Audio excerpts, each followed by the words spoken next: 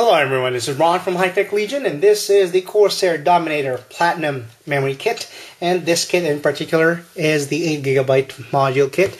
It comes with a pair of 4GB DDR3 memory.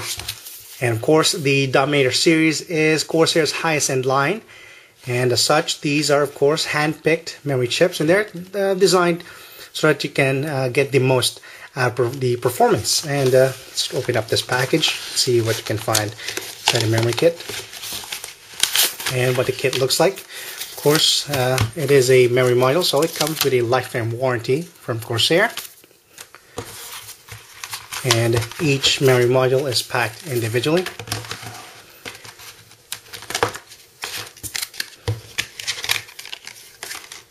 As with previous Dominator modules, you can see the uh, DHX cooling system right on top. But of course, uh, slightly different is you also have this light bar. If you look closely, that is an LED strip all the way across the top. By default, the standard um, Corsair memory modules, uh, that are Dominator Platinum, will come with a white LED strip, but uh, Corsair will also release replaceable LEDs later on, uh, depending on uh, user what what type of LED color you want. And let's take a look at the name here. This, of course, to decipher it closely, um, you can see there that it has 1600 C9. That means it has 1600 megahertz with a CAS 9 latency 99924. And you also get a 1.5 volt uh, voltage requirement for this memory module. As you can see there, uh, as for the size, it is slightly uh, larger than a regular memory module.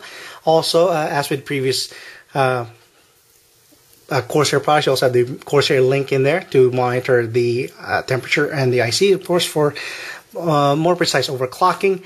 And the PCB itself is slightly taller than most PCBs as an extended area in there that leads to the uh, DHX cooling. And of course, the body is uh, this high quality aluminum body uh, for the heat spreader. So there's a plastic there. So uh, actually, this is a sticker badge of the Corsair logo. And the top, you have the aluminum bar that houses the the LED lighting strip.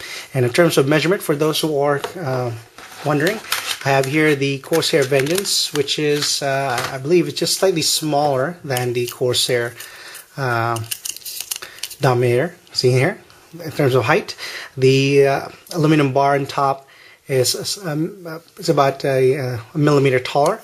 Let's take our tape measure in here, measure the memory module.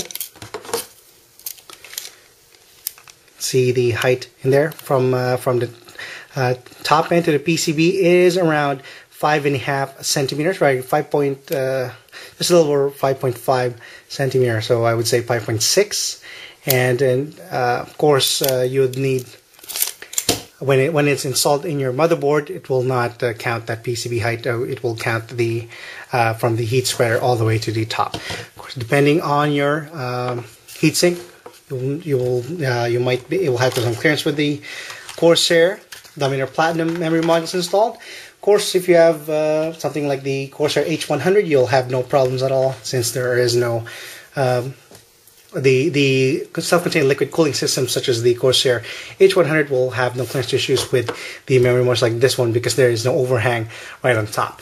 So what you should do now is of course complete opening up these packages and uh, also these uh, memory modules, the Dominator Platinums, are compatible of course with the latest AMD as well as Intel systems so that means uh, even Ivy Bridge which will be our test bed and if you add two more, you can fit it into an uh, X79 system for a quad channel configuration that is also compatible. And uh, for those who uh, are a little shy with overclocking, manual overclocking, you can do is uh, you can load the XMP profile. Of course, the Dominator Platinum is XMP 1.3 compatible, so easy loading of the uh, the features in there, the uh, timing and the speed of the memory.